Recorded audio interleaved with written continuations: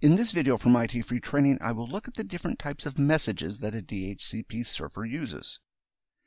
Understanding the different types of messages that a DHCP server uses will help you better understand how DHCP works. In order for a DHCP client and a DHCP server to communicate, a DHCP message must be sent over the network. With a DHCP server using the IP4 protocol, there are eight different messages as shown. I will go through each of them before looking at the IP6 DHCP message types. In this video, I will only have a quick look at what each message type does. In later videos, I will look at how multiple DHCP messages are used together to configure a computer. The first message type is the Discover message. In IP4, this is a broadcast that is sent on the network. A broadcast is required because the device does not have any network configuration. The Discover message is the device requesting network configuration. Essentially, the Discover message goes to all devices on the network saying, I have not had any network configuration and I am looking for a DHCP server.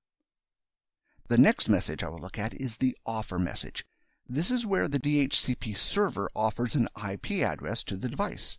It seems pretty simple, but remember, the discovery message was a broadcast, so it is possible for multiple DHCP servers to respond to the same device. The offer message may be a unicast or a broadcast. The device can request either. The choice which to use is ultimately made by the DHCP server. The next message type is the request message.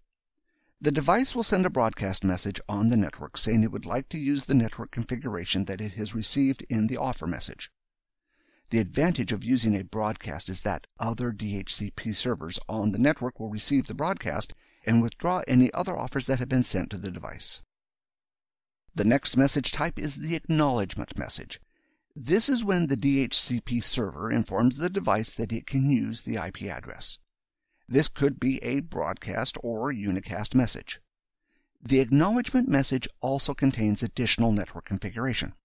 For example, DNS and gateway IP addresses. You will see in later videos that there is a lot of configuration that can be configured using DHCP. The acknowledgement message provides this configuration.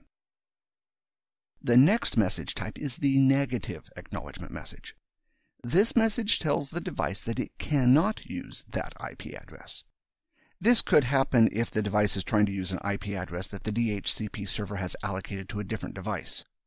The process of configuring a device's networking using DHCP takes microseconds. For this reason, negative acknowledgement messages should be very rare. However, if this were to occur, the device, when it receives this message, would start the DHCP process from the beginning and try again.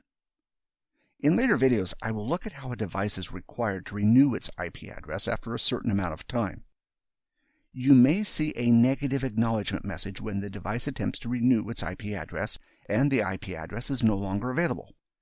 This will generally happen when the administrator has changed the configuration on the DHCP server. For example, the administrator wants to use the IP address for something else, so removes it from the available IP addresses that can be used. The next message type is the decline message.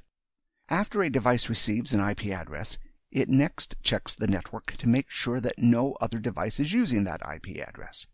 If it detects the IP address is in use, it will send a decline message to the DHCP server. When the DHCP server receives the decline message, it should mark this IP address as in use and not attempt to allocate it again. The next message type is the release message. The device sends this message to the DHCP server to tell the DHCP server it no longer requires that IP address. This can manually be performed by the administrator. Most operating systems will remember the last IP address that they were allocated when they are shut down or restarted. When the operating system starts back up again, the operating system will attempt to continue using that IP address. The operating system can be configured to release an IP address when the operating system is shut down. An administrator may configure this option when a network is running out of IP addresses and they are trying to make the best use of the IP addresses that they have. The last message type I will look at is the information message. This message is used to provide additional network configuration. For example, proxy settings. Some settings cannot be allocated using the other message types. Also, consider that settings like proxy settings could be requested at any time. The other message types are designed to provide the device network configuration when the device first starts up, not configuration it may require later on. The next message types I will look at are the DHCP6 message types, of which there are 23. Don't worry, I won't go through them all. I will just look at the main differences between DHCP IP4 and IP6. The messages used for obtaining an IP address and initial configuration are very similar. If all goes well, there are four messages that go over the network in IP4 and IP6 in order for a device to obtain network configuration. In later videos, I will look at this process in more detail. You can see here how the name changes for the message. However, the function of each message is essentially the same. To obtain an IP address, regardless of if IP4 or IP6 is used, there are at least four messages required to be sent across the network. Essentially, IP4 and IP6 DHCP achieve the same result. There are some other changes and features in IP6 that I will cover in more detail in later videos.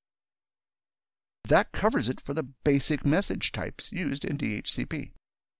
In the next video, I will have a closer look at the differences between DHCP for IP4 and DHCP for IP6.